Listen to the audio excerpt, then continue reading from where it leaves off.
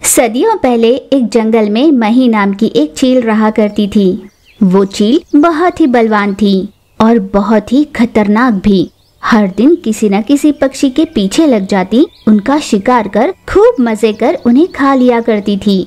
जिस जंगल में ऐसी खतरनाक चील रहा करती थी, वहाँ पर रहने वाली बाकी पक्षियाँ जैसे टूनी चिड़िया लूसी कबूतर छोटू तोती और चीचू कवि अपनी जान हथेली पे लिए पल पल डर डर कर जिया करते थे। एक दिन सारी पक्षियाँ टूनी चिड़िया के घोंसले के पास इकट्ठे हुए। दोस्तों दिन ब दिन दुष्ट मही चील की अराजकता बढ़ती जा रही है बल्कि कम नहीं हो रहा। मैं इसका पूरी तरह से विरोध करती हूँ।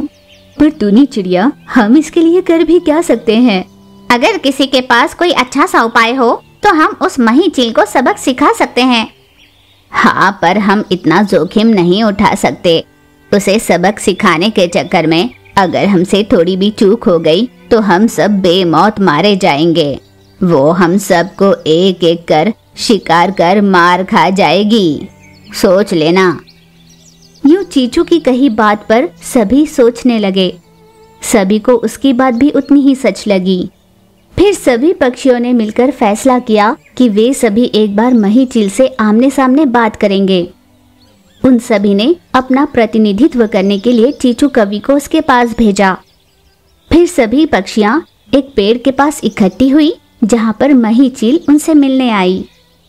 तुम हमारे बुलाने से यहाँ पर आई, इसका बहुत धन्यवाद। पहले बताओ बात क्या है? दरअसल आप हर दिन किसी पक्षी का शिकार कर अपना पेट भरती हैं। वैसे इस बात में कोई दो राह नहीं कि आप ऐसा अपना पेट भरने के लिए करती है। पर ज़रूरत से ज़्यादा पक्षियों का शिकार करना हमें सही नहीं लगता। अगर आप हमारी बात माने तो हम सब आपस में मिलकर ही चिट्ठी डालकर देख लेंगे। चिट्ठी में जिस पक्षी का भी नाम होगा, वो खुद आपके पास चल कर आएगा आपका आहार बनने के लिए। चीचू की बात सुनकर मही चिल ने मन ही मन सोचा कि अगर जंगल की पक्षियाँ खुद चलकर मेरे पास आकर मेरा शिकार बनना चाहती है तो अच्छा ही है। उसे मेहनत करनी नहीं पड़ेगी। इसीलिए मही चिल ने चीचू कवि की कही बात मान ली। सभी पक्षियाँ ये जानकर बहुत खुश हो गई।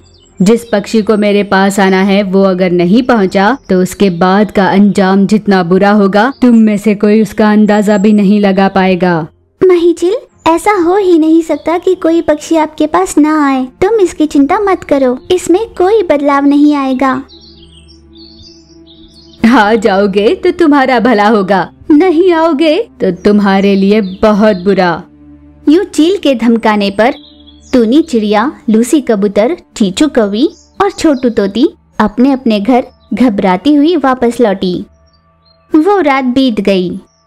अगले ही दिन से वादे के मुताबिक जिस भी पक्षी का नाम आया करता, वे एक एक कर अपने दिल पर पत्थर रख दुखी मन से, बाकी पक्षियों को इसकी कोई तकलीफ़ ना हो, इसलिए मही चील का शिकार बनने उन्हें भेज दिया करते।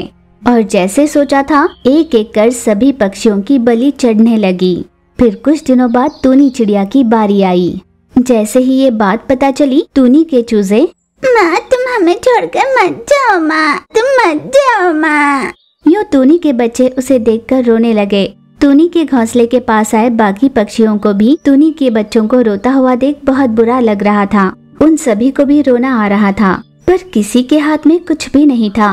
उन सभी को एक एक कर इस दौर से गुजरना ही था। माँ, तुम यहीं पर घोंसले में रहो। मेरे भाई बहनों के साथ मही का शिकार बनने के लिए मैं चली जाती हूँ, माँ।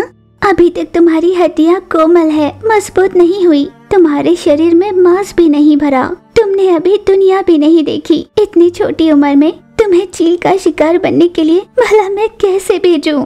ये कहकर तूनी चिड़िया अपने बच्चों को गले लगाकर रोने लगी। पर निस्सहाय होकर दिल पर पत्थर रखकर तूनी ने अपने बाकी दो बच्चों की देखभाल करने के लिए अपनी बड़ी बेटी को ही मही का शिकार बनने के लिए भेज दिया। टूनी चिड़िया की बड़ी बेटी आँसू बहाती हुई मही चिल के घोंसले के पास जाने लगी। यूँ उड़ती उड़ती वो रास्ते में एक जगह ठहर गई। तभी वहाँ से एक स्वामी जी गुजर रहे थे। रोती हुई नन्ही चिड़िया को देख वो उसके पास आए और बोले तुम टूनी चिड़िया की बेटी हो ना? हाँ स्वामी जी। हाँ तो फिर तुम यहाँ बैठकर क्यों रो रही हो? नहीं स्वामी जी दरअसल वो मही चील। यूँ उस चूजे ने स्वामी जी को मही की सारी बात बताई। क्या कहा? मही चिल अभी तक बदली नहीं? मेरी एक बात सुनो मैं तुम्हें एक द्रव्य दूँगा। उसे अगर तुम मही को किसी तरह पिला पाओगी तो मही चिल का हमेशा के लिए नाश हो जाएगा।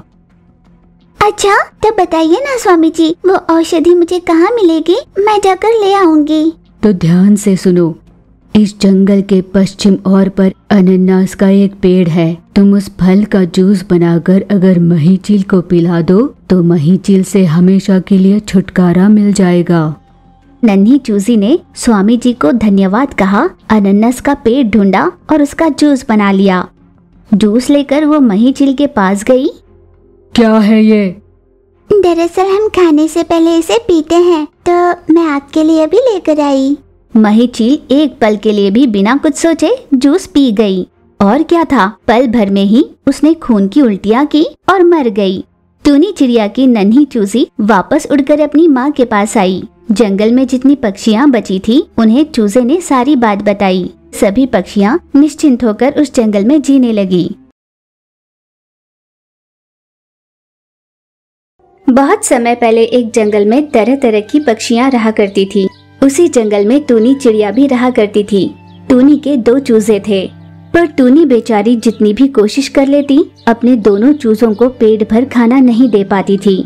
उसी जंगल में लूसी कबूतर भी रहा करती थी। टूनी चिड़िया और लूसी कबूतर बहुत अच्छी सहेलियाँ थी। जब टूनी कबूतर अपने चूजों को पेट भर खाना नहीं दे पाती थी, तब लूसी कबूतर उन्हें दाना देकर मदद किया करती थी। तब टूनी चिड़िया कहती, कबूतर ना जाने में तुम्हारा एहसान कैसे चुका पाऊँगी। पर अगर तुम मेरी मदद न करती तो ना जाने मैं अपने बच्चों की देखभाल कर भी पाती या नहीं। इतनी भी बड़ी बड़ी बातें क्यों कर रही हो? इन छोटी मोटी सहायताओं से मैं इतनी बड़ी भी नहीं बन जाती। इन अकाल परिस्थितियों में मैं चाहे जितनी भी कोशिश कर लूँ, मैं भोजन का बंदोबस्त नहीं कर पा रही। मैं शहर ही चली जाऊँ। माँ जैसी इस जंगल को छोड़कर तुम शहर जाने की सोच रही हो? वहाँ दाना मिलना तो दूर की बात। तुम दर दर भटक कर घबराती सहमती हुई ही अपनी ज़िंदगी काटोगी। और तो और वहाँ पर मनुष्य रहते हैं। वो गिरगिट से भी ज़्यादा तेज़ी से अपने रंग बदलते हैं। पहले तो प्यार से दाने डालकर हमें अपनी ओर मोह लेते हैं। फिर हम ही को पिंजरे में बंद कर आनंद का अनुभव करते हैं। तुम्हारी तरह चार दानों की आस में जंगल छोड़कर शहर गए अपने कई दोस्त उनकी जाल में फंसकर अब पछता रहे हैं। यहाँ हमें आहार नहीं मिल रहा और शहर में जाकर हम बस नहीं सकते। फिर ऐसे में हमारा क्या होगा दोस्त? मैं सोच रही थी कि अंगूर का कारोबार शुरू कर लूँ। अगर तुम उसमें मेरी मदद करोगी तो बहुत अच्छा होगा। हाँ क्यों नहीं? मैं ज़रूर करूँगी। फिर दोनों सहेलियों ने मिलकर कहीं से अंगूर के बीज इकट्ठे किए। ज़मीन की जुताई कर उन बीजों को उनमें बो दिया। पर उसी जंगल में चीचू नाम एक चोरनी कौवी रहा करती थी। वो हर समय सभी को धोखा देकर उनकी चीज़ें चुराने का ही काम करती थी। हर दिन रात में कौवी उनके ज़मीन पर जाती और उनके बोए हुए बीजों को खुदाई कर खा जाया करती। टूनी चिड़िया और लूसी कबूतर बड़ी आस से अपनी ज़मीन पर जाकर ये देखा करते कि उनकी बीज अब अंकुरित हुई होगी। पर जैसे ही उन दोनों ने ये देखा कि ज़मीन को खोदकर किसी ने बीजों को खा लिया है, वे दोनों बहुत दुखी हुई।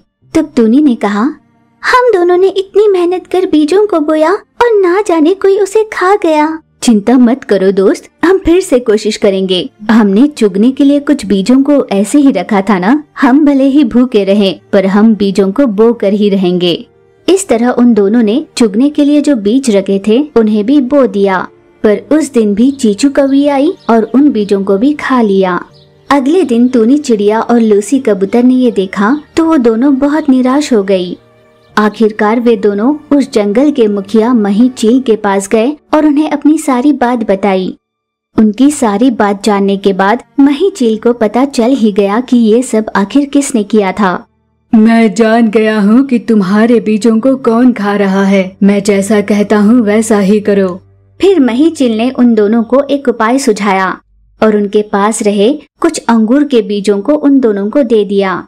वो साधारण नहीं, बल्कि मायावी बीज थे। वो ज़मीन में नहीं, बल्कि आसमान में उगने वाले थे। मही चिल ने अपने कंधे पर लूसी कबूतर और टूनी चिड़िया को बिठाया और बहुत ऊंचाई तक उन्हें उड़ा कर ले गया। वहाँ पहुंचकर बादलों में उन्होंने बीजों को बोए। बीजों को बोने के एक दिन बाद ही वहाँ पर अंगूर के बगीचे उग गए। चीचू कवि नीचे से ये सब देख रही थी और उसने ठान लिया था कि चाहे जो भी हो जाए, वो वहाँ तक उड़ कर जाएगी, कुछ अंगूरों को खाएगी और बाकी सारे बर्बाद कर रख देगी। पर चीचू कवा जितना भी ऊपर उड़ने की कोशिश करती, वो थक जाया करती। वापस गिरकर उसे चोटें ही लगी। देखा दोस्तों, वो अच्छे से जानती थी कि जितनी ऊंचाई पर चील उड़ पाता है, उतना वो नहीं उड़ पाएगी। फिर भी अपने लालच को पूरा करने के लिए उसने उड़ने की कोशिश की और खुद ही को चोट लगवा ली। अब तुम दोनों को घबराने की कोई ज़रूरत नहीं। तुम दोनों इन अंगूरों को बेचकर अपना गुजारा अच्छे से कर पाओगे। इस तरह बादलों में उगाए अंगूरों को बेचकर लूसी कबूतर और टूनी चिड़िया सुखी जीवन जीने लगी।